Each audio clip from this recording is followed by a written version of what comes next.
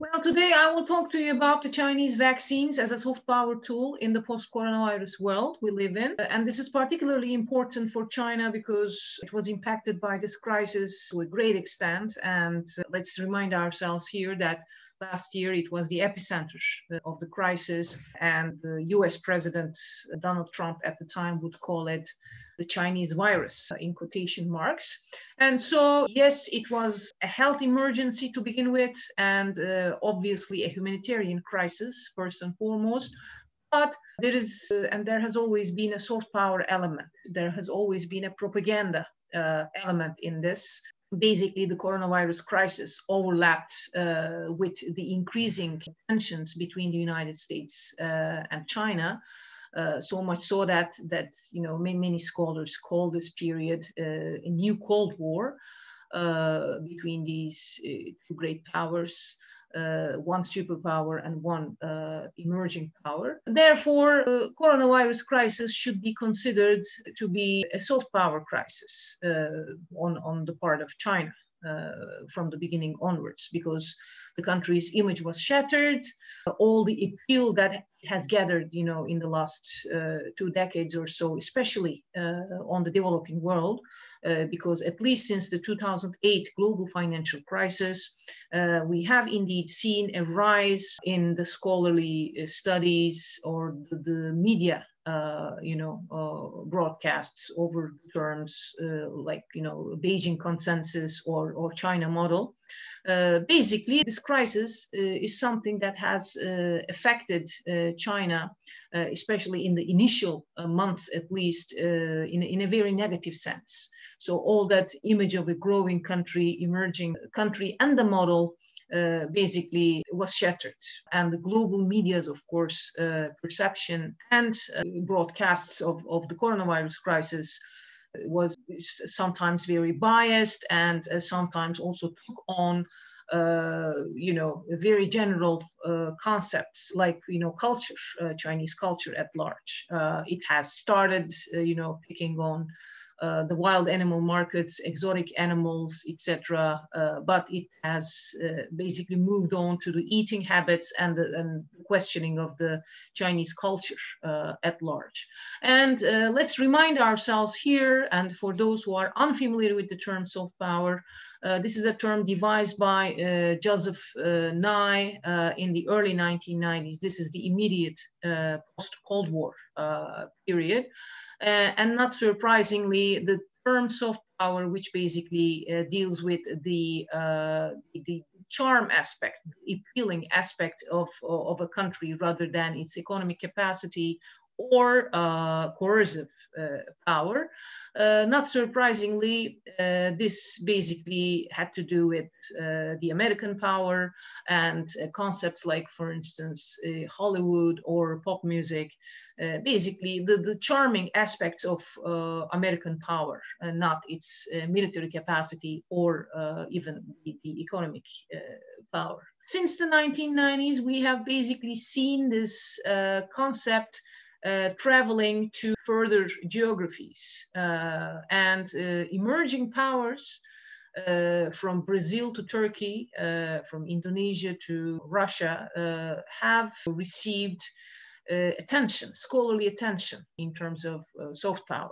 what are their uh, soft power appeals or whether or not uh, they have a soft power appeal, something like uh, the United States would represent. Uh, and in, in those studies, in the, in the scholarly uh, literature uh, addressing soft power topics, we have seen China to be a, a very, very important topic for anyone who is interested in soft power.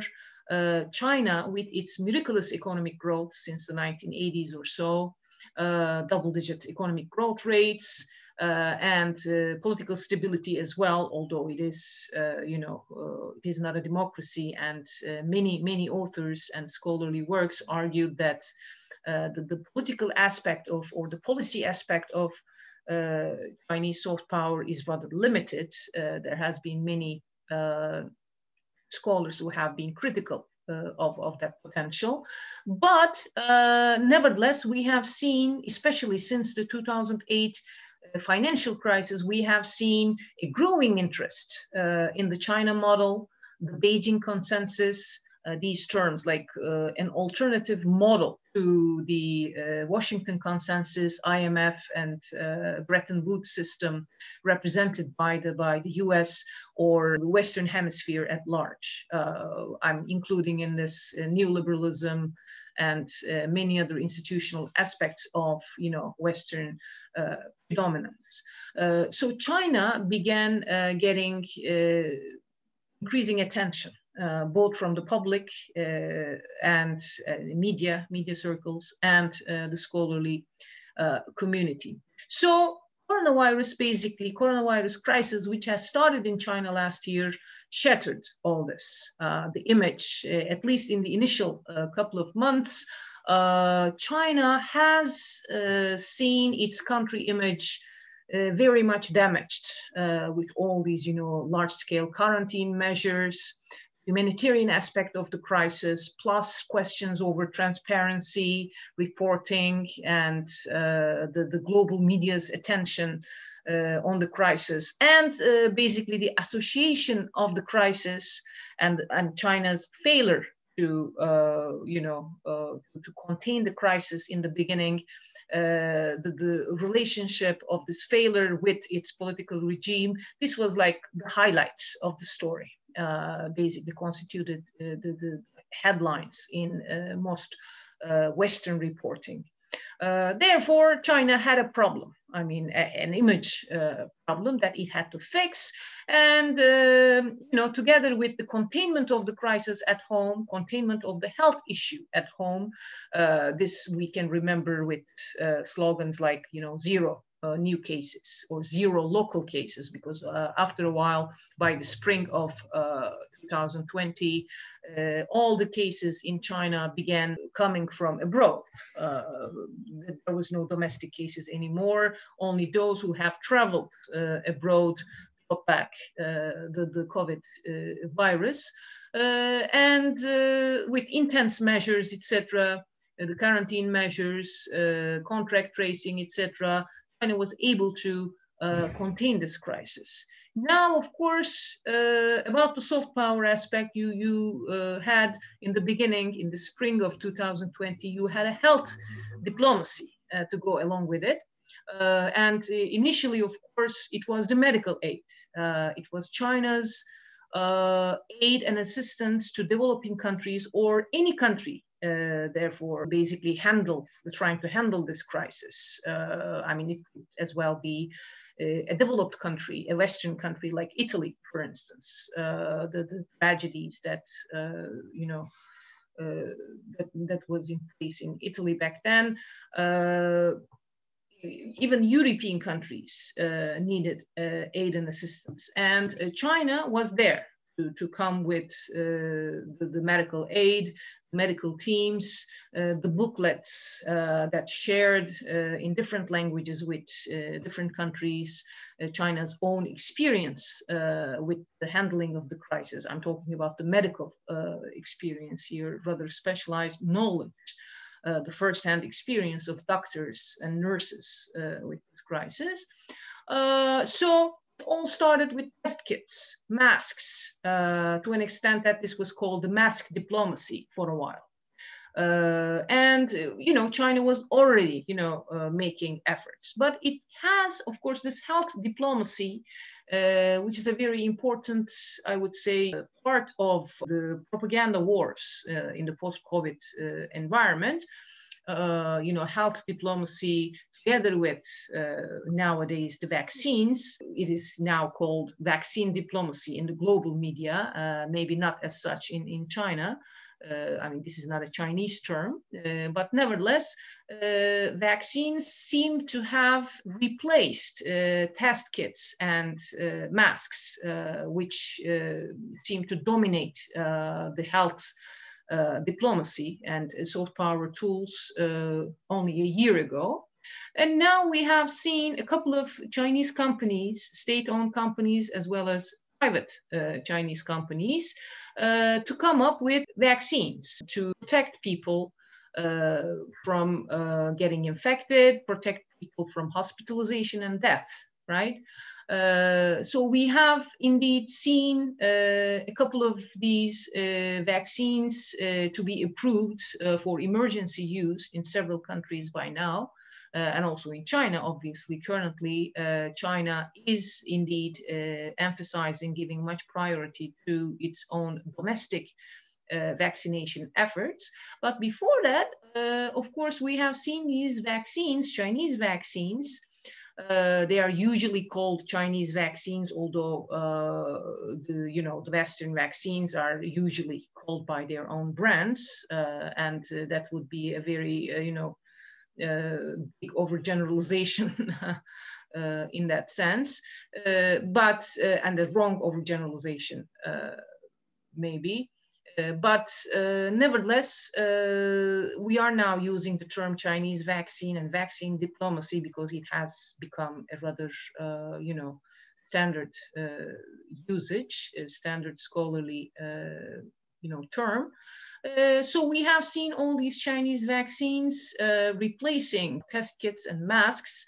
Uh, and there are questions, obviously, uh, around the use of vaccines as soft power tools.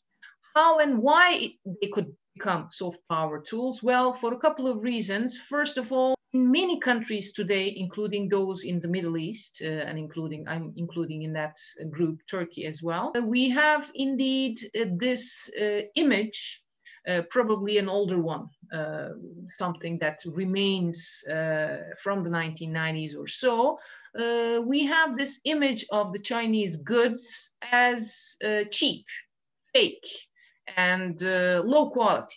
Okay, there are stereotypes around uh, China-made products, uh, and uh, a vaccine being a high-end technological product is in itself potentially very important in terms of bringing down that stereotype right? I mean, if uh, you have a high quality vaccine, there is a chance that uh, people will uh, change their perceptions of uh, China made goods. Uh, so, in that sense, it, it may become uh, a soft power tool.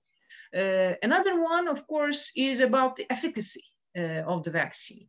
Uh, I mean, if these vaccines are safe and efficient, uh, they have the potential to save uh, millions of people in several uh, developing countries where, you know, vaccines may be uh, you know, quite expensive products, right? I mean, not not that easy uh, to afford uh, for for many developing countries. so if those vaccines, Chinese vaccines, are able to save uh, millions of people uh, from the yoke of this crisis. Uh, that's another uh, soft power benefit uh, there, uh, because these people will probably be thankful and they will appreciate China way more. And of course, in the larger surroundings of the post-coronavirus world, you also have the United States, right? Even before this crisis, you had the American Chinese tension. And uh, the, the uh, initiatives like COVAX and the World Health Organization, uh, I mean, those international multilateral settings uh, has always been an issue with the United States, right, uh, under the Trump administration. And the United States uh, has been receiving a lot of criticisms with regard to its so-called vaccine nationalism hoarding of vaccines and not letting uh, letting the vaccines to be exported uh, to, to, the countries in need, etc. Uh, so there is this self-centeredness with regard to uh, the U.S. power, the American uh, power in the post. Uh, COVID environment and in institutional frameworks such as World Health Organization, etc., these have been way more pronounced. And in that sense, China's promoting of, uh, of the vaccines, coronavirus vaccines, as public goods, again, in quotation marks. Not that they are being exported without a charge. I mean, uh, not that they are being exported uh, only as humanitarian aid, free of charge, etc. Uh, but nevertheless, the discourse coming along with it. Uh, vaccines as public goods rather than uh, vaccines as as goods be profited uh, on. Right? Uh, there is a big difference in between. Therefore, both in international politics and in in regional politics, in in bilateral diplomacy, vaccines may indeed uh, have uh, a lot of uh, sense in, in, in soft power terms. I mean, they can make a lot of sense uh, and they can indeed become beneficial. But that criteria, how much of that criteria has been met? Uh, I mean, uh, the price of the vaccine, efficacy of the vaccine, or, or needs of the domestic populations, uh, in the Middle East or in several other uh, developing countries. Uh, that seems to have, um, I mean, currently, that seems to have a rather mixed record. From the example of Turkey, I mean, the Turkish case study that I'm interested in, uh, we can we can basically say that uh, you know Chinese vaccine, the idea of the Chinese vaccine uh, was very, very hard to sell to the public.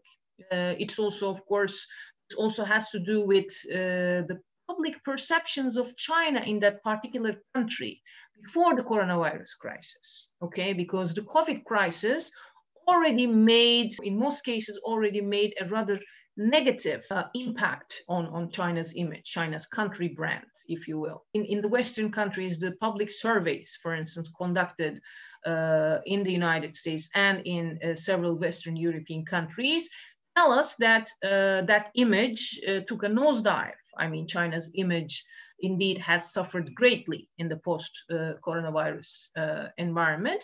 but what happened to the Chinese image in countries uh, for instance, where uh, China enjoyed a more favorable image. Uh, such as Egypt, for instance. Uh, in, uh, in the Middle East, you have uh, several countries that enjoyed a favorable China image, right, before the coronavirus crisis. And today, United Arab Emirates, for instance, and Egypt uh, stands uh, as countries uh, to be very, very influential to, to come and play a very big role in China's vaccine diplomacy, it seems, because they have now been granted, uh, you know, uh, production licenses, etc. Uh, and uh, obviously, uh, China is making inroads, uh, you know, in, in, the Middle East. This is important because Chinese Middle Eastern relations has generally been characterized along oil diplomacy alone uh, as if it was exclusive to uh, the raw materials uh, and um, oil dealings, etc. Obviously, I mean, energy sources, raw materials, including oil, uh, these are very important still. Uh, in, in Chinese uh, attitudes, approach towards the Middle Eastern countries. But in the post COVID environment, we can see you know vaccines uh, to to uh, basically uh, play a very uh, different uh, different game. Uh, already on, I mean, China was presenting itself to be a source of you know technology transfer for these countries. basically, a country to help out, for instance, several Gulf countries to change their economy from a largely oil dependent uh, economy to diversify, uh, you know, uh, their domestic sources into and human sources into, let's say, a more technologically driven century. Uh, so China was already uh, helping out uh, in that aspect. So vaccines may indeed change that further in, in China's favor, especially in countries which already had a favorable uh, public perception uh, of China. But what would happen in countries that did not really have a favorable perception of China, such as Turkey? Uh, I mean, Turkish public surveys tell us in general that, uh, you know, uh, anti-China sentiment in this country is quite substantial. Uh, although, of course, Turkey is also known for its uh, quite strong anti-Western, anti-NATO, anti-American uh, sentiment as well. So one may argue that this is not particularly uh, about China, but nevertheless, the anti-China sentiment in Turkey has its uh, deep historical, ideological, cultural uh, roots. and it's not something easy to erase. And Chinese vaccine uh, when it was first being debated in Turkey in, uh, in November of uh, 2020, uh, it indeed had this very important potential uh, because first of all, it was understood uh, very soon that the, the, price of the Chinese vaccine was not cheap. So this was not a low quality product. This was indeed a high-end technological product, which was being sold well equally uh, in, in equal terms uh, with uh, the Western products, or even maybe a little bit more expensive than certain Western brands. So the price itself tells you something about quality right generally speaking i mean that that's the public perception uh, and uh, basically the initial reports uh, about the efficacy of the chinese vaccine was not bad I mean, uh, very few uh, could argue that you know Chinese vaccines uh, were were low quality and uh, well, they did not really provide the scientific evidence uh, that would suggest that they are they are working, they are indeed saving people from getting hospitalized or death even. Um, so initially, at least, uh, it was it had this potential to uh, save China's image, uh, to, to, to get it uh, to a better place. But in the Turkish case, at least, we can say that uh, there were so many hurdles. The efficacy reports wouldn't uh, wouldn't be announced uh, because these vaccines were being tried in several different countries, phase trials, and their reports, their scientific, you know, uh, evidence was coming from uh, many different countries and uh, that was not a coordinated job that was not well organized. And uh, ultimately there were numbers uh, such as you know 50% 60% which suggested that uh, these vaccines were indeed you know they, they, were not as good as as efficient as uh, let's say certain Western brands, which you know uh, got around 90, 95% of um, efficacy uh, ratings.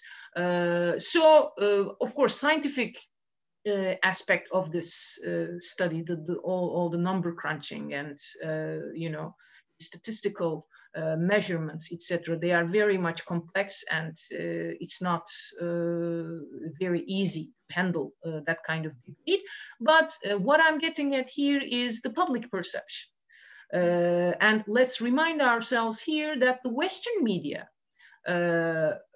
for the most part, was quite biased towards the you know Chinese vaccine. Whatever success, whatever efficacy, uh, or whatever safety that they were uh, achieving, uh, we didn't really hear the good story uh, from, from Western media. Uh, whatever went wrong, whatever uh, was missing, whatever got, I don't know, mishandled, etc., you could immediately hear it, you know, from Western broadcasters, or you could read them in the newspapers. Uh, the bribery, the corruption, etc., whatever past stories these you know companies had, uh, you could hear them and see them immediately. But the good story, the positive story, wouldn't fly. Uh, that also has to do with, of course, the ideological circumstances of the whole uh, global vaccine debate, global coronavirus uh, issue, uh, and also the, the, larger politics of the new Cold War, uh, in quotation marks.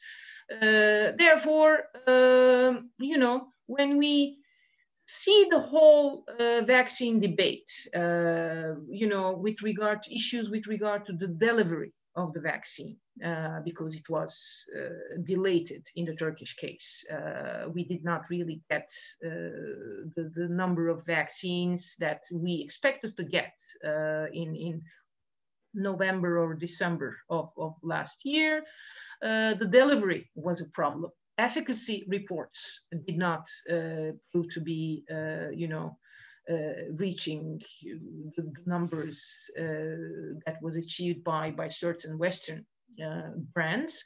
and you know, there was also uh, the, the case for domestic polarization, of course, domestic polarization and the internal political debate surrounding the Chinese vaccine, the pro-government and the, the opposition circles. So this, this kind of intense debate and criticism uh, with regard to uh, certain technical dimensions uh, of the vaccine debate, uh, at least in the Turkish case, uh, proved that the vaccine as a soft power tool or as, as a tool for, you know, getting back China's image and, you know, as a tool to win over the masses around the world, uh, it's not going to be an easy job. It's going to be uh, a contentious uh, job. Uh, and uh, it needs to uh, handle a lot of domestic hurdles in order to achieve that.